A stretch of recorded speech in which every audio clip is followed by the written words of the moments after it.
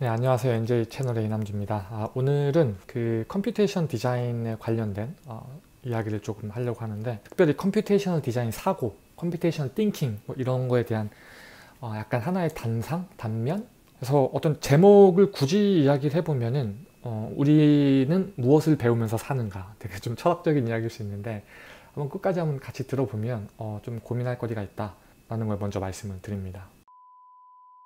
오늘 제가 준비한 이야기를 드리기 전에 한번 약간 이런 스케일을 한번 생각을 해보면 좋을 것 같아요. 우리 할머니 세대, 우리 할아버지 세대들, 6.25 겪으시고 자라난 어떤 정말 대한민국의 그 근대화를 일으키신 그 일꾼들을 생각해 본다고 친다면 그분들은 어 고등학교도 글도 모르시는 분들이 되게 많이 계실 거예요. 우리 할머니, 할아버지 세대에는 글을 모르시는 분들, 어, 글을 모른다는 거는 어떤 책을 읽을 수 없고요. 책을 읽, 읽을 수 없을 뿐만 아니라 그냥 대화는 하겠죠. 대화는 하지만 우리 부모님 세대에 비해서는 확실히 그 문맹률이 높았죠. 예. 그리고 우리 부모님 세대 같은 경우는 그래도 대학을 나오시면은 공부하신 분이고 보통 뭐 고등학교 나오셔서 바로 직장을 취직하신 분들이 굉장히 많으실 거예요. 그리고 우리 시대는 어떻죠? 저희 시대, 저희 시대까지만 해도 대학 학교를 거의 다 갔어요. 예, 대학교를 거의 다 가고 요즘 젊으신 분들을 보면은 뭐 대학교가 미달이죠. 예, 미달일 정도로 다 들어가죠. 자, 스케일이 보이시죠? 할머니, 할아버지 세대, 그리고 우리 부모님 세대, 그리고 우리 세대. 우리라고 하면 이제 저같이 이제 30대 후반, 40대 초반의 어떤 세대, 그리고 더 젊은 20대 generation 이렇게 보게 되면 우리 할머니 세대 같은 경우를 보면은 사실 그때는 지금보다는 우리가 그만큼 덜 똑똑했죠. 아무래도 어 그냥 뭐 소 몰고 그냥 논 치고 끝나면은 같이 맥주 뭐 막걸리 같은 거 한 잔 마시고 그게 대부분의 일반적인 사람들의 삶이었을 거라는 거죠. 근데 우리 부모님 세대 정도 지금 되면서 어쨌든 우리가 국어를 배우잖아요. 국어. 저는 이 언어를 배운다는 것 자체는 어떤 의미로 보면 인간과 다른 포유류와 비교되는 게 어떤 나눠질 수 있는 게 우리는 언어를 쓸 수 있고 그 언어를 가지고 계속 논리를 확장시켜 나갈 수 있는 힘이 있잖아요. 그러니까 사유할 수 있는 능력이 생기는 거죠. 그래서 국어를 공부한다는 거는 어떻게 보면은 그 대한민국의 그 generation, 저희 부모님 generation에서는 전체적으로 intelligence가 한 번 도약하는 그런 계기가 반드시 됐을 거라고 저는 생각을 하거든요. 그래서 우리가 국어를 배우고 어, 언어를 배움으로써 책도 읽, 고요 책을 그때 당시 쓰시는 분들은 그래도 굉장히 사회 지도층이라든지 똑똑하신 분들이니까 그분들이 책을 쓰게 되고 우리가 그런 책들, 우리 부모님 세대들이 그런 책을 읽음으로써 그 논리라든지 그런 것들을 이제 흡수해서 자기가 생각할 수 있는, 사유할 수 있는 능력들을 키워나가는 거죠. 예, 이해되시죠? 그러면은 우리 그 우리 부모님 세대에서 우리 저희 세대 뭐 한 40대 20대 후반의 세대를 보게 되면 저희 같은 경우는 영어도 공부했어요. 영어. 영어도 공부했고요. 수학도 공부했어요. 국어도 공부하고. 결국 뭐냐면은 이따 뒤에서 설명해 드리겠지만 결국엔 규칙이거든요. 논리거든요. 그래서 이런 부분들을 공부를 함으로써 우리가 일상생활에 사는 문제뿐만 아니라 복잡한 일들도 비교적 우리 할아버지 할머니 세대보다는 더 손쉽게 우리 부모님 세대보다는 좀 더 손쉽게 왜냐면 우리는 훈련이 돼 있으니까 트레인이 돼 있으니까 영어라든지 국어 수학 이런 것들을 통해 가지고 우리가 살아가는 문제뿐만 아니라 여러 가지 막 복잡 미묘한 것들도 우리가 계산하고 문제를 풀면서 살 수 있는 능력을 갖게 된 거죠. 저희 세대들은. 그러니까 굉장히 어떻게 보면 할머니, 할아버지 세대에서 한 번 도약됐다고 친 다음에 우리 부모님 세대에서 한 번 또 도약을 했고 그 다음에 저희 세대는 또 한 번 도약을 한 거지. 그래서 우리가 무엇을 배우면서 사는가를 보면 결국에는 그냥 아주 옛날 농경사에서는 그냥 뭐, 뭐, 야, 밤하늘의 별을 보니 비가 올 것 같구나. 우리 이러, 이렇게 하자. 저렇게 하자. 아주 되게 단순한 논리 구조로 살고 있다가 이제 산업화가 되면서 이제 학교들을 보내기 시작했고 학교에서 막 국어, 언어라는 걸 가지고 이것들을 어떻게 우리가 문제를 파악하고 분석하고 복잡함을 읽어내는지에 대한 훈련을 했다는 거죠. 이게 여러분 다 computation thinking이랑 연결이 됩니다, 여러분들. 그래서 그 다음에는 우리가 세대에서는 수학, 영어, 다양한 문화와 culture 이런 것들을 막 공부를 하고 철학 이런 것들도 저는 건축가니까 그런 부분도 되게 많이 이렇게 brainwash 당했거든요.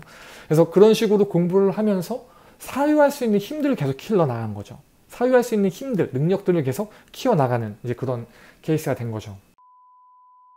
자, 그러면 또 한 번의 도약이 어디서 일어날 거라고 저는 생각을 하냐면 어 우리 제 조카 세대들 이제 10대, 20대 이런 제너레이션들을 보게 되면 그분들은 단순히 언어를 쓰는 것뿐만 아니라 영어를 공부하는 것뿐만 아니라 그리고 수학이라든지 과학, 뭐 천문학, 철학 여기에서 여러 가지 오는 언어들과 사유할 수 있는 방법론을 배우는 것뿐만 아니라 한 가지 더 뭘 배우냐면 제가 계속 채널을 통해서 주장하는 computing power를 그 fully 초당 66조 번의 계산을 할 수 있는 그 파워를 컨트롤할 수 있는 언어 그러니까 컴퓨터와 대화할 수 있는 언어 이 언어를 즉 computation 사고를 할 수 있는 사람들이 이제 올라오는 거죠 generation들이. 그러면 전체적으로 한 번 더 도약을 하겠죠. 예. 제가 얼마 전에 이제 그 코딩을 가르치고 싶다는 부모님을 만나서 이야기를 했는데 이런 이야기를 했어요. 코딩을 가르친다는 거는 그냥 소프트웨어를 공부하고 아니 뭘 만들고 하는 게 중요한 게 아니다 지금 그 단계에서 가장 중요한 건 뭐냐면 computational thinking을 하는 게 되게 중요하다라고 제가 이야기를 해드렸거든요. 그래서 제가 이 비유를 들려줬어요. 우리 할머니 시대의 비유, 그 다음에 어, 우리 부모님, 그 다음에 우리, 그리고 우리 자녀 세대들.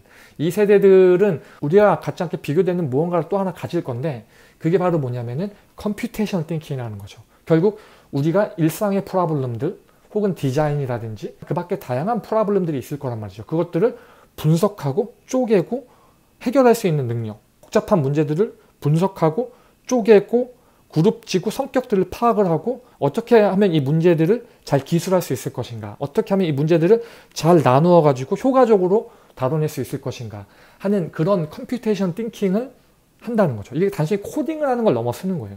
되게 중요한 이슈라고 볼 수 있거든요. 되게 logical thinking을 사, 키우는 거죠. 근데 사람들은 다 자기 스스로가 logical하고 믿죠. 다 logical하다고 믿는데 이것들을 computation thinking을 하고 코딩을 공부하다 보면 내가 얼마큼 illogical하고 그리고 오류가 많은 인간인지를 알게 돼요. 그래서 그 과정들을 계속 통하면서 생각들을 계속 어떤 식으로 이게 그냥 책으로 읽어서 되는 게 아니야. 가령 이런 거죠. 수영을 글로 배우고 어, 스노보드도 사랑도 글로 배울 수 없는 것처럼 이 computation thinking도 어떤 코딩을 공부하고 기계와 대화를 해보고 현실의 문제들을 계속 분석을 해보고 단순하게 코딩을 작성하는 걸 떠나가지고 어떤 현실 문제들을 분석해서 풀어내는 어떤 그런 알고리즘이 그런 굉장히 logical한 thinking이라는 거죠. 자, 여기까지 이해되셨죠, 여러분들?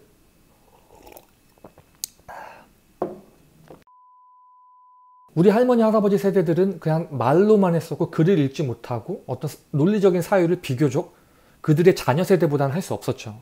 자녀 세대들은 국어와 학교를 다니면서 그래도 초 등 고등학교 나왔으니까 우리 부모님 세대들이 아무리 그 전쟁통에 바빴어도 초등학교, 중학교, 고등학교 나왔다고 대부분이 그러면 그 과정들을 통해 가지고 글도 읽고 있는 힘도 배웠고 그들의 자녀인 우리 세대들 우리 세대들 같은 경우는 비교적 굉장히 많은 에듀케이션이 일어났죠. 그래서 정말 이 지식의 도약이 확 일어났던 시대고 어떻게 보면 그런 것들 때문에 어, 대한민국의 교육열이라든지 이런 부분들이 어, 인재는 굉장히 풍부한 어떤 그런 나라가 됐죠. 그만큼 어, 사유할 수 있는 생각도 되게 올라갔고 과거처럼 막 우르르 우르르 따라가진 않죠 비교적. 그래서 생각하고 고민하고 한 명 한 명 잘 뜯어서 이야기하다 보면 생각이 되게 명확하고 논리도 탄탄한 분들이 굉장히 많으시거든요. 근데 우리의 어떤 자녀 세대 우리가 낳은 자녀 세대 이 세대들은 또 한 번의 도약이 이루어지는데 그게 바로 computation thinking이다. 초등학교 중학교 고등학교에서도 요즘 삼성전자에서 펀딩을 해가지고 인공지능이랑 코딩 수업을 한다 하더라고요 그리고 미국도 마찬가지고 우리 제 조카들도 다 코딩을 공부하거든요. 그래서 거기서 오는 또 한 번의 thinking, 그러니까 사고의 도약이 있을 거다. 문제 해결하는 능력들. 이 부분이 굉장히 비약적으로 한 번 더 도약할 거라는 게 일단은 저의 일단 주장인 거고요. 아, 이것들을 이제 한번 여기까지 이제 1차로 딱 정리를 하고 여러분들 이제 마음속에 한번 두고 아, 난 어디 위치에 있는지 한번 고민하면서 어, 한번 이야기를 또 진행을 해보죠. 그래서 아까 말씀드린 것처럼 우리는 무엇을 배우고 학습하면서 사는지에 대해서 이야기를 할 건데 한번 이렇게 한번 생각을 해보자는 거죠. 어, 우리는 관찰을 할 수 있잖아요. 인간은 관찰을 할 수 있어요. 그래서 밤하늘도 보고 어, 뭐 사냥법도 해보고 뭐 try and error를 시행착오를 거쳐가지고 어떤 뭔가를 관측하면서 현상들을 파악을 하는 거야. 현상들. 어, 어 이건 이렇게 하니까 저렇게 되네. 어, 이건 저렇게 하니까 이렇게 되네. 이런 현상들을 계속 observation을 계속 하다 보면 그 안에 뭐가 나타나죠? 당연히 패턴이 나타나겠죠. 패턴. 그렇잖아요. 이렇게 하니까 되고 이렇게 하니까 안 되고 동전도 계속 던져보니까 어, 5대5로 되네. 공부도 이렇게 하니까 더 잘 되네. 뭐 싸울 때 이런 식으로 하니까 내가 이기네. 게임도 이렇게 하니까 내가 지네, 이기네 이런 패턴들이 어떤 현상들을 계속 반복하다 보면 패턴이 읽히거든요. 그럼 패턴은 결국에는 논리적으로 우리가 기술할 수 있다는 거죠. 그렇죠? 예를 들면 유학을 가는 방법 이것도 논리적으로 기술할 수 있겠죠. 일단 너가 전공이 있어야 되고 영어 공부는 어떻게 해서 점수를 어떻게 만들고 건축 같은 경우는 어떤 식으로 포트폴리오를 만들고 전략을 이렇게 짜서 이런 학교는 이렇게 저런 학교는 저렇게 지금 제가 뭘 말씀드린 거냐면 다 조건이에요.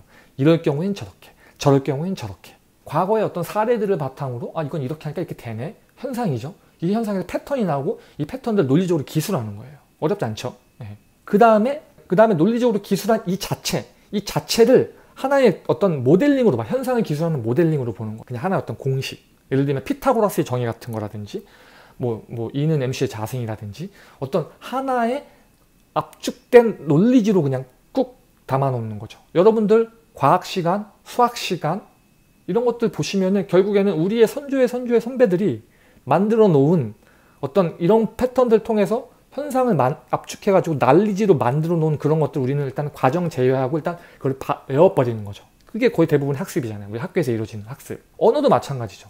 언어도 이게 뭐 닭이 먼저냐 달걀이 먼저냐일 수도 있겠지만 결국에는 누군가 이야기를 하고 패턴을 잡고 이거를 문법으로 만들고 야 이건 이렇게 부르기도 하자 이건 저렇게 저렇게 부르기도 하자 뭐 단어 같은 것도 이럴 때는 이런 식으로 해석을 하기도 하자라고 해가지고 뭐 한국 같은 경우에는 국립 국어 연구소 막 이런 거 있잖아요 그래서 어 뭐 영어 같은 경우 뭐 옥스퍼드 사전이라든지 이런 것들에서 이제 뭐 등재가 되고 교통 정리를 해주죠 이런 것처럼 이런 상황에선 이렇게 보자. 저런 상황에선 저렇게 보자. 이것도 하나의 논리 구조인 거예요. 논리 구조. 사람들이 막 쓰고 있다가 패턴들이 보이네. 야 이건 이렇게 해야겠고 저건 저렇게 해야겠다. 이해가 되시죠? 그래서 이거는 어떻게 보면 아까 말씀드린 것처럼 현상이 있고 패턴이 있으면 거기서 논리가 있고 어떤 로직이 있고 그걸 우리가 학습한다고 친다면 우리가 학습된 것들을 우리가 처음부터 공부를 하잖아요. 어렸을 때부터 그냥. 뭐 삼각함수는 이래. 공부를 하잖아. 그러면 그걸 가지고 역설적으로 우리는 그냥 이미 reverse engineering 하는 거야. 갖고 있는 결과를 가지고서 그냥 현상에 적용을 하는 거죠. 그래서 이건 이렇게 했다, 저건 저렇게 하겠다. 이런 거죠. 어, 어른을 보면 인사를 해야겠다. 이것도 어떻게 보면 내가 학습된 부분들을 가지고서 활용하는 거죠. 그 현상에 맞춰가지고. 그렇죠. 뭐 경찰이 온다? 그럼 나는 뭐 신분증을 보여준다. 이것도 문화적으로 학습된 거잖아요. 이거 누가 말해주진 않았지만 어쨌든 사람들이 모두 그 공동체가 합의하고 있는 하나의 문화고 그 문화들에 맞춰서 논리가 생기는 거죠. 그래서 국어, 영어, 문화, 사실 영어, 수학, 컴퓨터 언어 이게 다 뭐냐면 결국에는 다 모든 규칙을 그냥 우리가 이해하는 거야. 합의하고 있는 규칙들. 수학도 사실 규칙이거든요. 수, 수체계잖아. 그 수체계를 우리가 이해하고 그 법대로 따라가는 거거든요. 그렇잖아. 그래서 오늘 우리의 주제는 약간 우리는 무엇을 배우면서 사는가가 주제였는데 이 주제로 보면은 결국에는 뭐냐? 우리는 언어를 배우는 거예요. 다 언어. 다 언어의 관점으로 설명될 수 있어요. 예. 당연히 국어 언어죠. 과학도 언어죠. 영어도 언어고 컴퓨터 언어도 언어예요. 그리고 내가 지금 뉴욕에 있잖아요. 뉴욕에서 지하철 타는 것도 언어예요. 타는 방법들이 있어. 문화도 언어고 다 어떤 언어, 규칙을 포함하고 있고 지키고 만약에 안 지켰다면 어떤 식으로 지킬 수 있는지 여러 가지 언어들이 있는 거야. 예를 들면 요리가 요리하는 것들도 언어예요. 요리하는 것도 언어의 관점으로 볼 수가 있어요. 그 언어가 갖고 있는 것처럼 어떤 단어들이 있고 문법들이 있고 이것들이 표상하는 어떤 의미구들이 있으면은 이건 다 언어적으로 해석을 할 수 있다라는 게 일단은 제 관점인 거고 오늘 비디오의 관점인 거고 그렇기 때문에 우리는 끊임없이 언어를 계속 학습하는 거다. 이 뒤에서 말씀드리겠지만 computation design도 computation thinking도 결국에는 이 언어에 대한 이야기거든요. 그래서 일단 우리가 국어를 한번 보면 국어 국어를 보게 되면은 결국 단어와 문법으로 이루어졌지만 결국 결국에는 어떤 의미론적으로 결국 단어와 문, 단어들과 이 단어들이 연결 짓는 문법으로 있지만 결국에 이 하나의 어떤 의미가 있는 거죠. 의미. 그리고 논리가 있는 거야. 의미가 있다는 거는 어떤 논리가 있고 이것들을 있는 거. 마치 machine learning에서 선을 딱 그어놓고 이건 A, 이건 B처럼 어떤 현상들이 있으면 이건 이런 경우, 이런 경우라고 해서 그 분기점을 만들어 주는 거죠. 논리가 있는 거니까. 거기엔 논리가 있고 행동 지침도 가능하겠죠. 군대에 있을 때라든지 회사 다닐 때 우리 언어로 모든 소통을 다 하고 그 언어에 맞춰서 어떤 direction이 가잖아요. 사람은 그걸 해석할 수가 있으니까 어쨌든 간에. 일상에서 우리가 가장 중요하게 프로블럼을 솔빙하고 커뮤니케이션하고 사실 이 언어라는 게 정말 정말 중요한 도구인 거죠. 사실. 근데 이건 여전히 되게 약한 고리들이 되게 많아요. 논리적으로.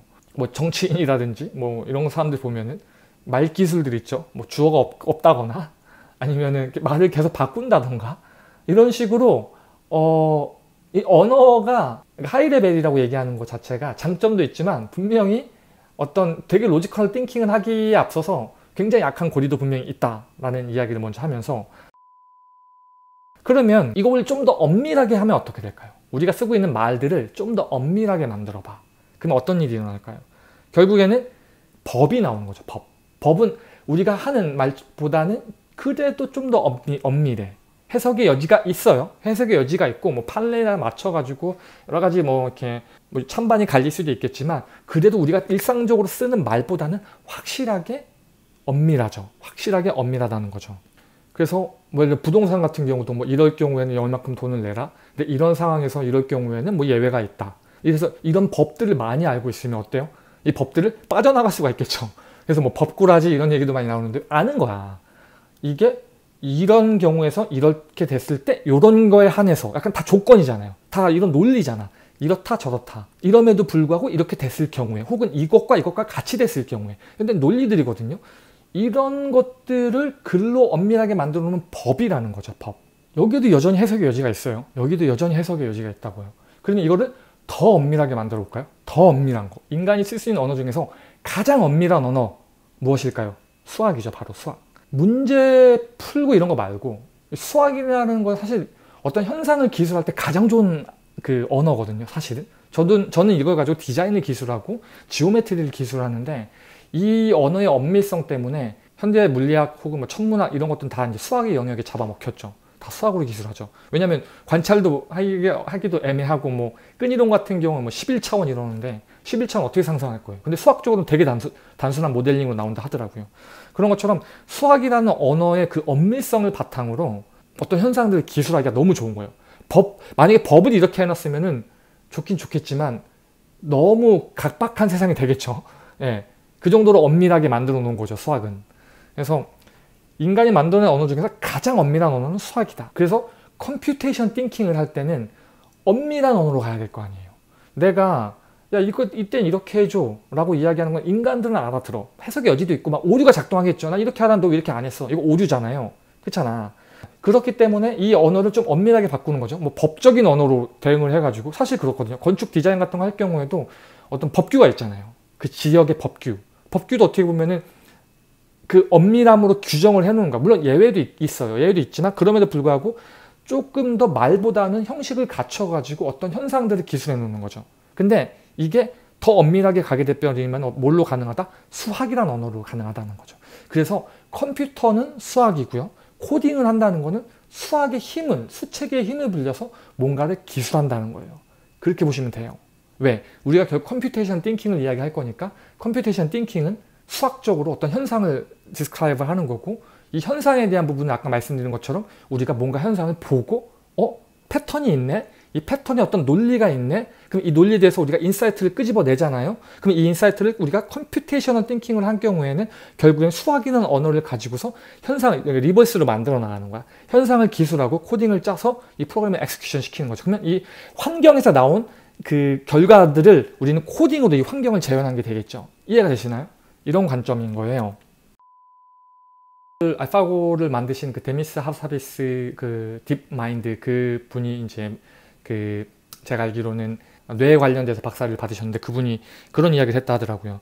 어, 창조력은 기억력에 기인한다.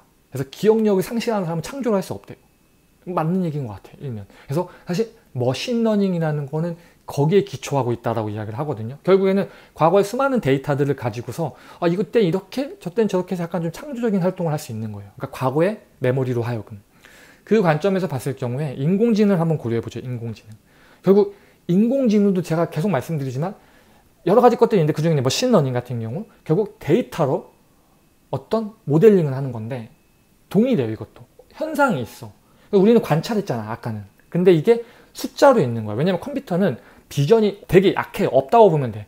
사람은 다 비전으로 확인하잖아요. 처음에. 모든 데이터 인풋을 비전으로 들어오거든요. 소리도 들어오지만 대부분은 다 인풋은 비전이에요. 그렇잖아요. 근데 컴퓨터는 숫자로 들어와야 돼요. 다 숫자. 메모리로 들어야 돼요. 그러니까 기억력이 되게 좋거든요. 계산력이라.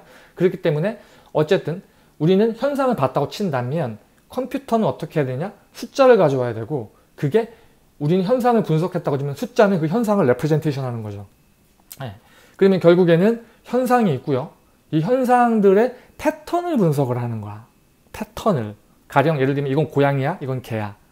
그 사진들을 보여주고 그러면 패턴을 그린다는 거는 결국 뭐냐면은 논리의 분기가 생긴다는 거예요. 그렇잖아요. 사진을 보여줬을 때 이건 강아지, 이건 고양이, 이건 강아지. 이거 강아지 냐 고양이에 대한 if, s 된 프로그래밍을 짜는 것처럼 결국 내가 이걸 보고 어, 이건 강아지네, 이건 고양이네 현상들을 계속 볼 때마다 내가 학습을 하잖아요. 거기서 딱 두 가지만 나오는 거야. 이럴 경우에는 무조건 고양이, 이럴 경우에는 무조건 강아지. 이런 식의 insight가 추출이 된 거라는 거죠. 이해되시나요? 근데 이거는 컴퓨터는 이런 방식으로 한다는 거야. 데이터가 들어오고 이 데이터를 바탕으로 계속 그 논리의 분기가 어느 선상에서 일어나는 거냐. 여기까지 가깝다면 이걸 고양이로 볼 거냐. 여기까지 가깝다면 이걸 개로 볼 거냐. 이런 식의 학습이 일어나는 거죠. 결국에는 optimization이 일어나는 거예요. 사실 그 뒷단에서는. 그래서 결국에는 하나의 어떤 그 모델링이 나올 것이고 결과적으로 사진을 보여주게 되면 이건 고양이야, 개야라고 이야기를 하겠죠. 예, 이것도 다시 봅시다. 현상이 있어. 데이터로 데이터로 현상이 있었고 이 현상에서 패턴들을 보고 그 패턴을 나누기 시작하는 거죠. 패턴을 나눠서 논리를 주는 거예요. 그래서 너는 강아지, 너는 고양이 이렇게 나눠 놓는 거야. 그래서 결국에는 이게 뭘로 바뀌냐? 하나의 insight로 바뀐다는 거예요. 이해가 되시나요? 또, 또 다른 예를 들면 이제 매핑 같은 경우 보죠. 매핑. 여기 맨하탄 지도가 이렇게 있어요. 어떤 범죄 데이터들이 있다고 치자고요. 우리는 딱 보는 순간 알아요. 어? 여기는 이렇게 됐네? 어? 여기는 음, 조금 괜찮네? 약간 이런 식으로 우리는 그 그림을 보고 판단할 수 있다고요. 여기서도 이게 그냥 일어나는 것처럼 가까이 자세히 보시면은 전체의 어떤 공간을 확인을 할 거고요. 그 공간들이 과연 어떤 덴시티로 뭉쳐 있냐, 그 주변에 무슨 공간이 있냐, 이거에서 우리가 판단을 한다는 거죠. 이해가 되시나요? 현상을 봤어? 현상에 여기까지는 괜찮고 여기까지는 위험하고 이것들에 대한 그 논리 구조를 지금 생각을 하는 거예요. 이거 왜 여기는 왜 괜찮다고 볼 수 있지? 여기는 왜 위험하다고 볼 수 있지? 라는 논리 구조를 강화시키는 거예요. 왜냐면 이걸 경계를 명확하게 해야 되잖아요. 그래야 논리가 될 거 아니에요. 글을 쓰는데 내가 논리적으로 글을 쓰기 위해서 내 입장을 밝혀야 되고 그에 대한 이유를 내 얘기를 해야 되는 거랑 동일한 거예요. 그런 것처럼 내가 왜 이거를 이쪽으로 논리 분기를 펼쳐야 될지 이쪽으로 논리의 분기를 펼쳐야 될지를 내가 이유를 찾는 거야. 그렇게 해서 결국에는 기준을 만들고 분리를 하고 이 기준들을 모아놓으면 하나의 통찰이 되는 거죠. 아 이런 경우에서는 무조건 우리는 이거는 이렇게 본다. 라는 어떤 결과가 나오는 거예요. 이해가 되시나요? 이제 컴퓨터를 보죠. 컴퓨터. 컴퓨터 같은 경우에 어떻게 일어날까요? 동일해요. 동일해. 그래서 데이터들이 들어오고요. 이 데이터들이 뭔가 일단 달라. 뭔가 다른데 얘는 위험하고 얘는 덜 위험해. 그러면 이게 왜 위험하고 들면 뭐가 다른지를 계속 파티셔닝을 해 나가는 거죠. 계속 분리를 시켜 나가다 보면은 어떤 기준이 딱 보일 거 아니에요. 아, 여기서부터는 명확하게 이 기준과 이 기준을 나눌 수 있다라고 볼 수 있는 거죠. 이것도 이제 우리가 오늘 배우고 오늘 우리가 오늘 이 비디오에서 배우는 관점으로 보게 되면 어떤 현상들이 있고 이 현상들의 논리 논리 분기를 만들 수 있는 어떤 데이터들을 추출하고 이 데이터들이 가장 여기서부터는 범죄율이 있어. 여기서부터는 범죄율이 없다고 간주할 수 있어. 라고 하는 그 지점들을 찾아내는 거죠. 결국에 이것도 현상에서 어떤 하나의 논리를 만들어 놓고 insight를 뽑아낸 거죠. 이해가 되시나요? 정리를 해보면은 결국엔 우리는 현상들을 보고 이 현상에서 아, 이렇게 하면 사기 당하네. 아, 이렇게 하면 사기 안 당하네. 이렇게 하면 사업을 성공할 수 있네. 아, 이렇게 하면 망하네. 이렇게 은행을 이용해야겠네. 이런 것들은 어떤 과거의 경험이라든지 이야기를 듣고 현상을 분석해가지고 이런 상황에서는 이렇게 하자. 이런 상황에서 차라리 여기서 대출을 받자. 이런 논리의 분기들을 만들어낸다는 거죠. 그래서 우리 할아버지 시대 때의 어떤 논리 구조와 우리 부모님 시대의 논리 구조, 그 다음에 저희 시대의 논리 구조, 그리고 computation thinking을 할 수 있는 사람들의 논리 구조가 다를 거라는 거예요. 그래서 각각의 논리 때마다 논리의 도약이 일어나요. intelligence의 도약이 일어난다고 좀 보고 있고 그래서 computation thinking을 지금 이야기함에 있어서 저는 오늘 여러분들에게 말씀드리고 싶은 게 뭐냐면은 과연 우리는 무엇을 학습하면서 사는가에 대한 어떤 고민을 같이 해보자는 관점인 거예요. 그래서 결국에는 우리가 보는 대부분의 것들은 다 언어로 볼 수가 있고요. 결국 언어에는 논리가 들어가고요. 논리는 항상 분기, 어떤 어떤 분기가 일어나는 것들이고 이것들이 왜 이렇게 되는지에 대해서는 여러 가지 어떤 조건들이 들어가겠죠.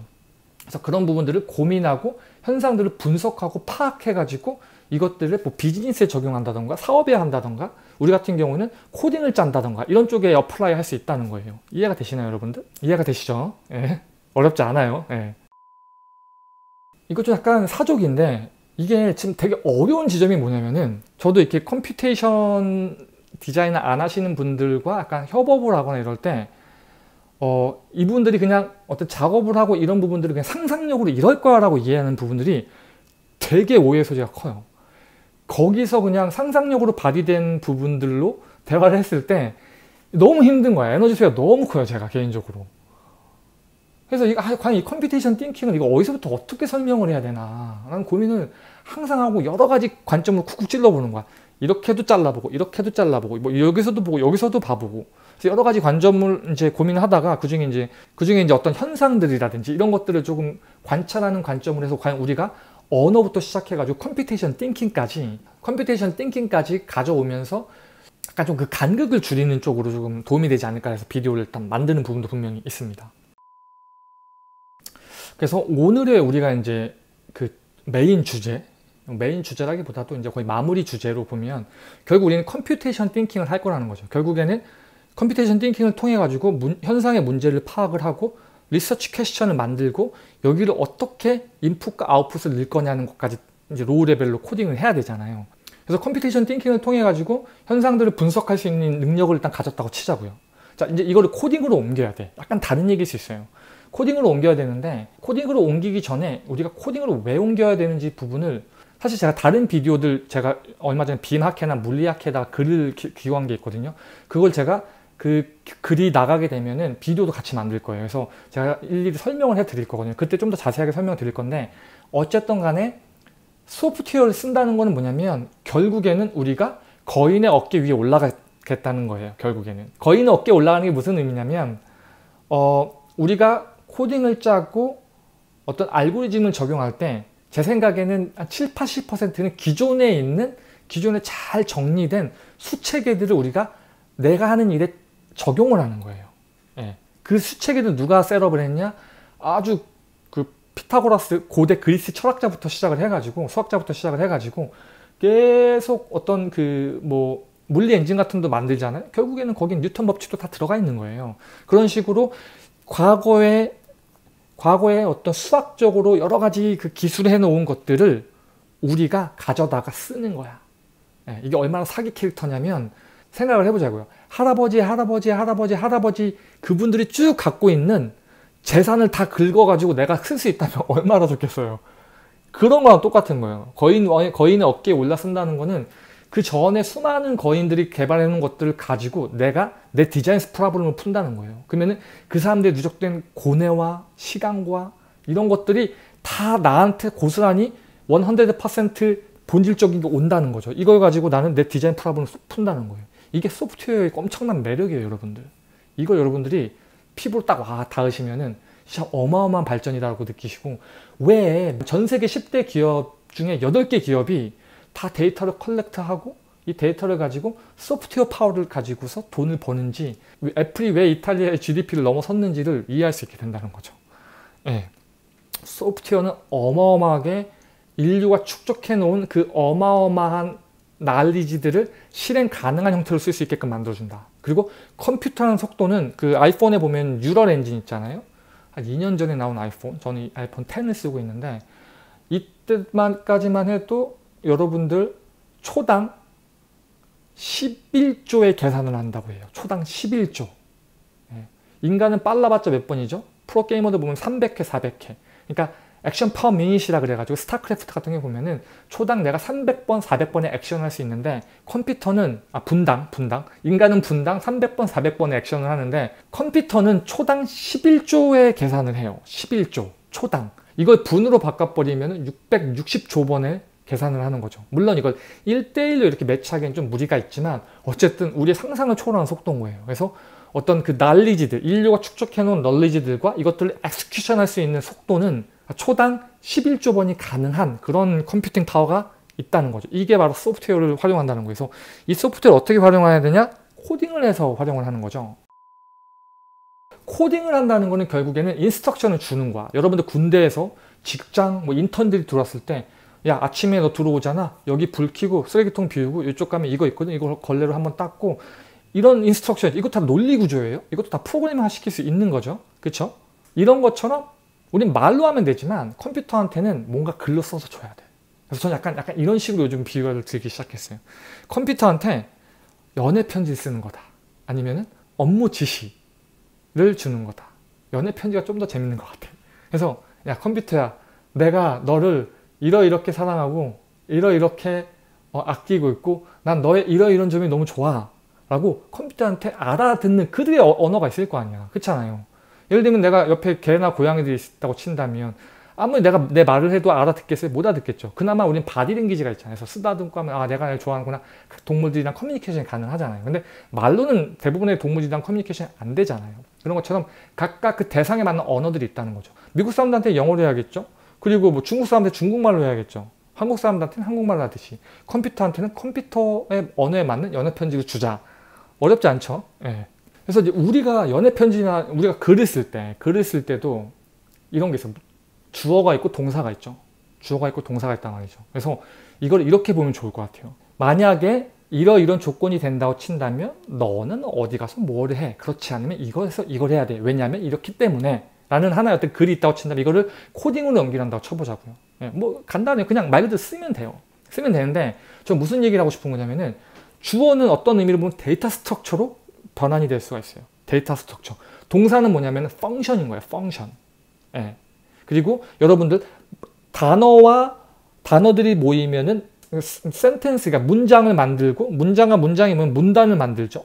그러면서 사실 문장과 문장이 연결되면 일단 논리 구조도 나오기 시작한다는 거죠. 컴퓨터 프로그램도 똑같아요. 어떤 주어와 동사, 그러니까 data structure 있고 알고리즘이 있고요. 그 다음에 이 결과값에 맞춰서 조건이 이러냐 저러냐 맞추면 거기에 맞춰서 또 다른 paragraph이 들어오고 또 다른 sentence가 들어오면서 컴퓨터한테 연애 편지 쓰는 거야. 예. 이해가 되시나요? 주어 동사로 글을 쓰듯이 주어는 data structure, 동사는 하나의 function들, 그리고 뭐, 뭐 그러나 그럼에도 불구하고 그런 경우에는 계산의 분기점이 들어가는 거죠. 뭐 if 이거보다 크다면 작다면 이런 식으로 이렇게 계산의 양식을 define하는 거다.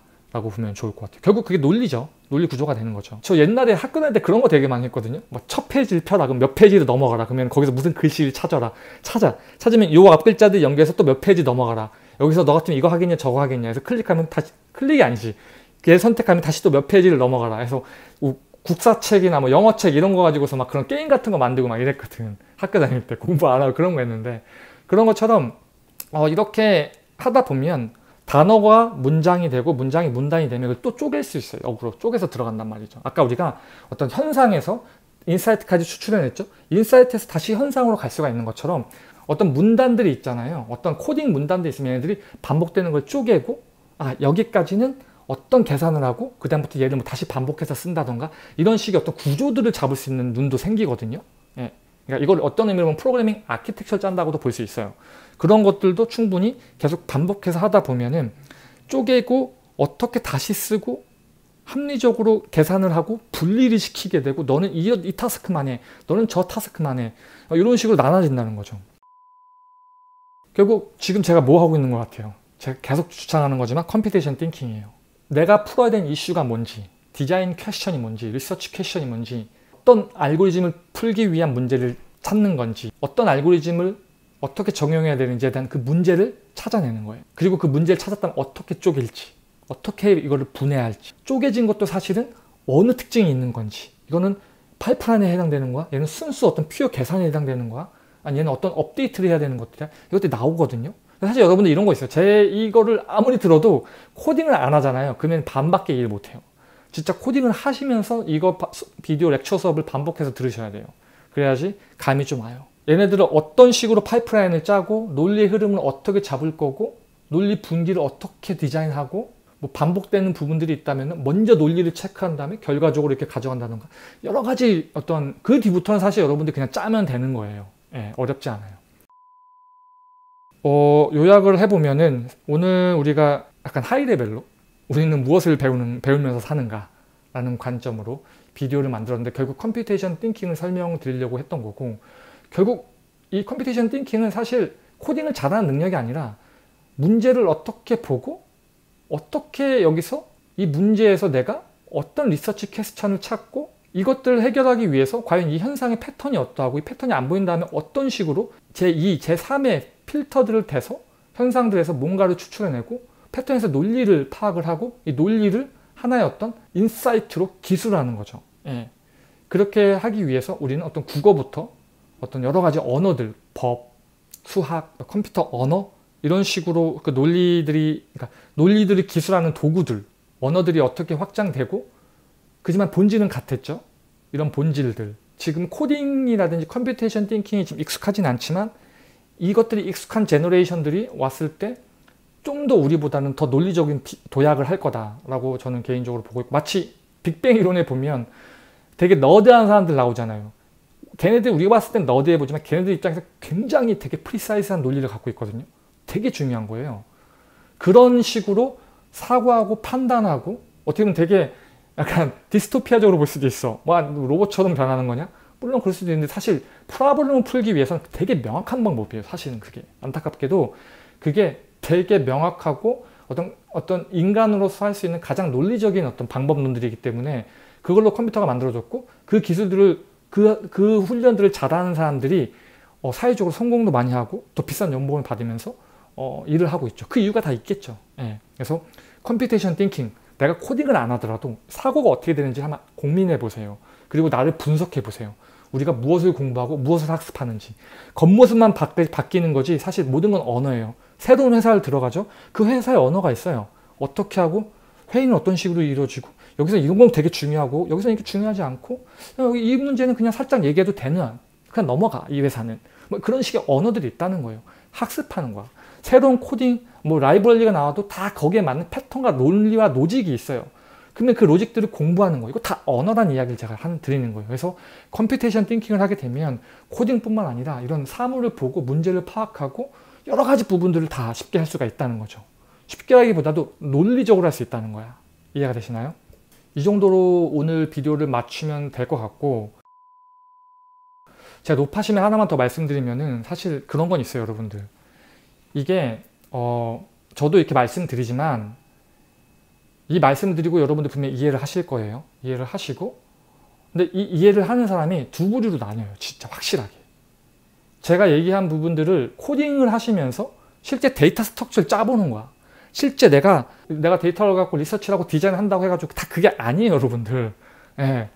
이게 정확하게 진짜 코딩으로 짜서 low level로 그걸 이해했냐 안 했냐 되게 중요합니다. 진짜. 안 그러면 대화가 안 된다니까요. 제가 그런 걸 되게 많이 경험해요. 그래서 한 번은 설명해주고 노력을 하는데 이게 소귀에, 소귀, 소귀에 경 읽기 왜냐면 너무 다르니까. 그럼 마치 뭐냐면 제가 저런 다른 영역에서 그거에 대한 이해 없이 안 해본 상태에서 그냥 내 기준을 갖고 판단했을 경우에 저도 계속 헛다리 짚겠죠. 예. 그런 현상이 되게 많이 일어난다는 거예요. 특별히 지금 우리 코딩 같은 경우에서는 진짜 어 하늘과 땅 차이기 때문에 여러분들 이 비디오만 보지 마시고 코딩을 직접 해보세요. data structure를 짜보세요. 데이터를 직접 parse를 해보고 업데이트를 해보고 파이프라인을 디자인해보세요. 디자인 파이프라인을. 디자인 시퀀스를 디자인해보세요. 이거 없으면요. 박사 할아버지를 해도 대화가 안 됩니다.